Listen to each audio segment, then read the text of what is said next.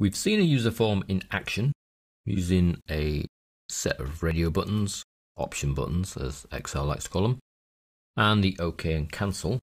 What we're going to have a look at now is some of the other toolbox options for placing onto dialog box. Using the form template file, you'll find that in the Visual Basic, we have a sample form called sample. It already has an OK and a cancel button and I've even coloured them in to prove that that's possible. You'll find the colouring in properties, select the particular object, come down, you can change the back colour. You'll find there's a little drop list to choose between the system or the palette. System you'll see is just mainly greys because that's the interface used here.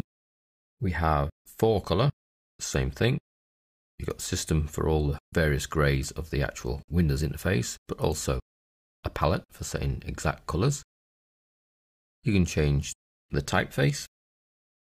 So you can choose all the ones available in your font on your machine. And the same goes for the OK button. Behind each of these buttons, I've already added a snippet of code. Behind the OK button, got a little place where we're going to add in all our actions, but then it unloads the sample form, and the command button just simply unloads the sample form. That way, if you actually run your form, both the OK and the cancel button at the moment cancel the form. You'll also notice that the OK button is the default.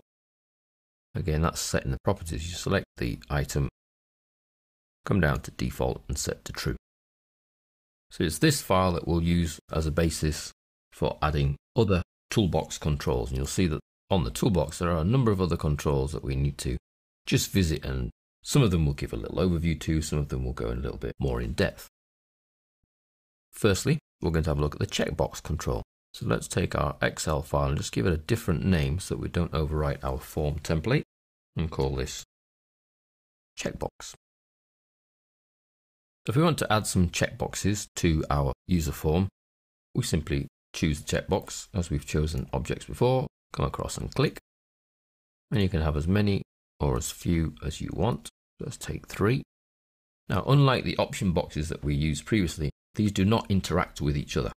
So clicking one doesn't unclick another. So the first one has a label of checkbox 1. Come down here, we can change that caption. Doesn't have to say checkbox 1. It can say meat. And the name for it could be a more sensible name than just checkbox 1. I'm going to call mine check meat. And then checkbox 2 can be check fruit and its caption can be fruit. And the same for checkbox 3. Check veg. And its caption vegetables. Make sure you have nothing selected but the form and then you will run. You'll find that these do not interact with each other at all. You can click on, off, on, off, on, off separately and they don't affect each other whatsoever. Obviously, they're not doing anything either. Now, with a checkbox, if I select the meat one again, for example, there are a couple of bits that can be quite useful. There's the accelerator. That's the letter from the MEAT that can be typed using Alt on the keyboard to make the tick appear.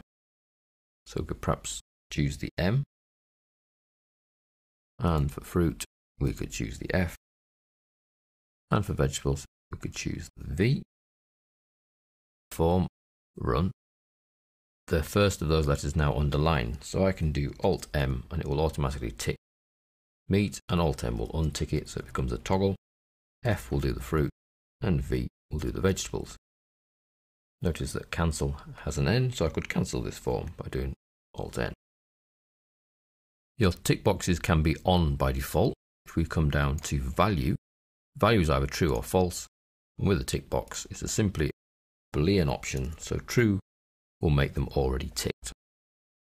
So there you see meat's already ticked because the value has been set true. So there's a bit of flexibility with the checkbox.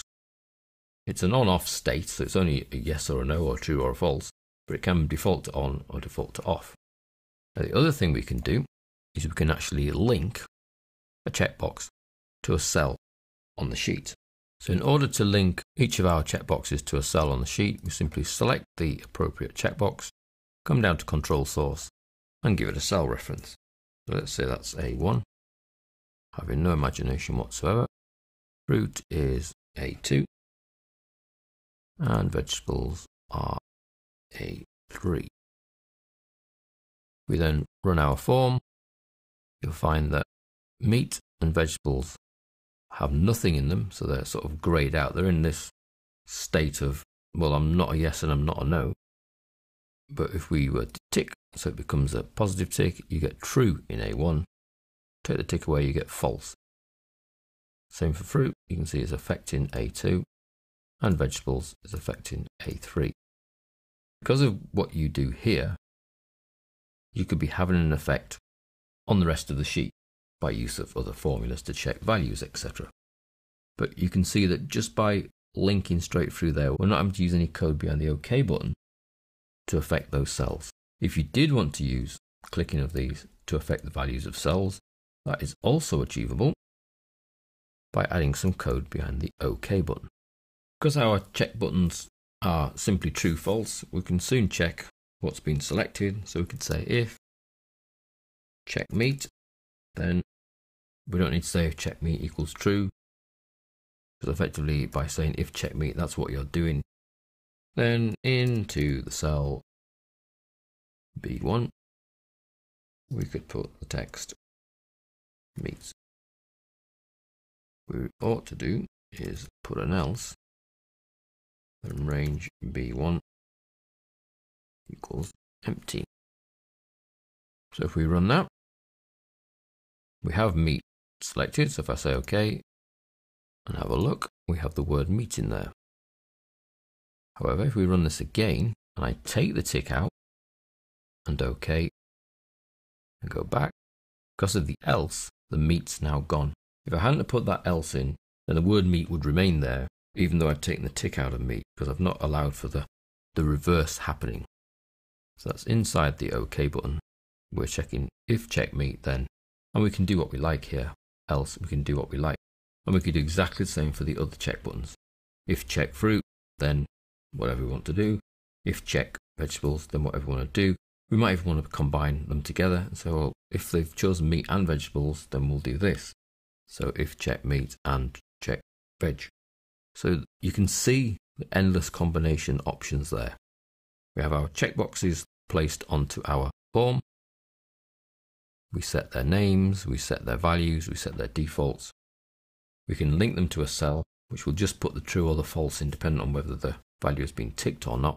The most important bit is behind this OK button, which is where people expect the work to take place. When you click OK, that's when you expect things to happen. That's where we do the let's see what they've chosen and carry out some commands.